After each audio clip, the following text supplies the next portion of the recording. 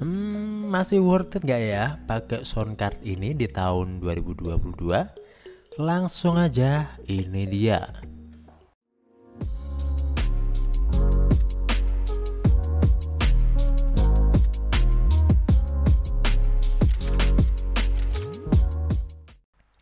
Hai guys, ngomongin soal sound card, pastinya kalian bakal bingung untuk memilih sound card yang cocok dengan kebutuhan kalian.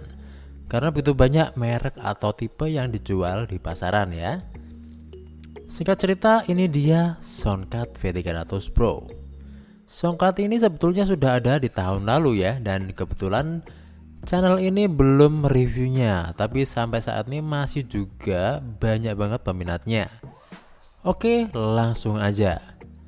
Di bagian dusnya terdapat tulisan Mobile Live Sound Card dan ada gambar aplikasi apa aja support dengan sound card ini. Dan bagian samping juga ada tulisan yang sama. Yuk kita unbox. Di paket pembelian kita mendapatkan dua kabel aux jack 3,5 mm, satu kabel Type C to Type A dan satu unit sound card V300 Pro nya ya. Dan seperti ini penampakannya.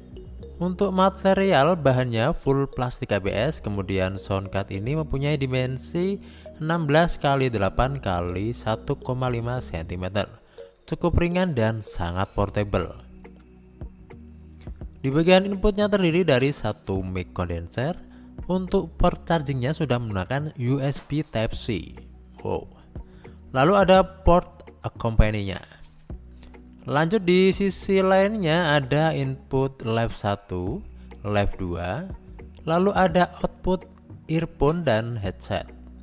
Untuk samping kiri kanan polos aja. Lanjut di bagian bawah ada alas karet di setiap sudut soundcard ya, membuat soundcard ini tidak mudah bergeser saat diletakkan. Lanjut kita ke bagian tombol, ada apa aja ya? Bagian kiri atas ada tombol treble plus dan minus. Lalu di bawahnya ada volume mic minus. Kemudian di samping kiri ada knop putar untuk mengatur reverb atau tune.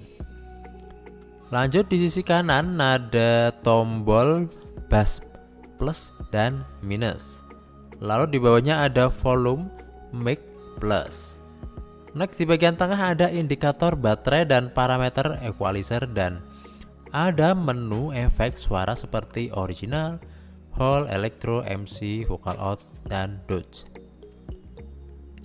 Lalu di sampingnya ada knop putar untuk mengatur volume monitor, speaker, atau earphone. Lanjut di bagian bawah ada tombol shortcut seperti original, pitch bend, vocal out, dan dodge. Next bagian bawah ada beberapa efek suara seperti keys, Deepshire, Crow, Applause, dan masih banyak lagi. Kemudian di bagian kiri ada tombol power dan bagian kanan ada tombol mode untuk mengganti efek suara seperti female, man, robot, dan lainnya. Oh ya, untuk tutorial dan suaranya nanti lanjut di part reviewnya ya. Nah, gimana sob? Apakah tertarik membeli soundcard ini di tahun 2022 ini? Hmm, ya, nanti lihat aja di reviewnya ya.